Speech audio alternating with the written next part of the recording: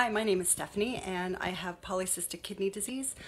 Um, my journey began about 24 years ago. Uh, our mother had polycystic kidney disease, and at the time, um, my sister and I were tested to see if we could be a kidney donor for her.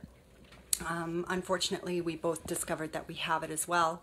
Uh, my sister is now the Ottawa chapter coordinator for the PKD Foundation here in Ottawa.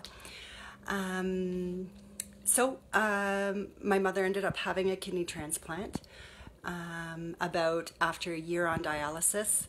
And although the kidney transplant went very well, there were other complications um, uh, as a result of the surgery, and she ended up passing away about two months later while still in hospital. Um, so that was our first experience with PKD and not an altogether positive one, unfortunately. So um, we were left with uh, having to deal with that over the years.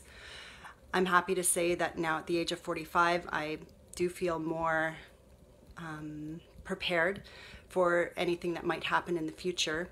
Um, there are lots of conferences, symposiums, there's lots of information on the internet now, as well as support groups available, uh, which have been really helpful. Uh, we also have the new PKD clinic opening here in Ottawa, or actually is already open. Um, so that just shows the progress that's happened in the last 20 some years uh, for patients with PKD. My daughter also has PKD, um, and that, of course, is a concern going forward. I'm hoping that more research can be done, um, more information can get out there, more awareness, uh, so that she doesn't have to be left with the legacy that my sister and I were. Um, uh, I want her to have hope for the future and hope for a cure somewhere down the road so that by the time she reaches my age, um, she won't have to deal with some of the things that we're facing right now.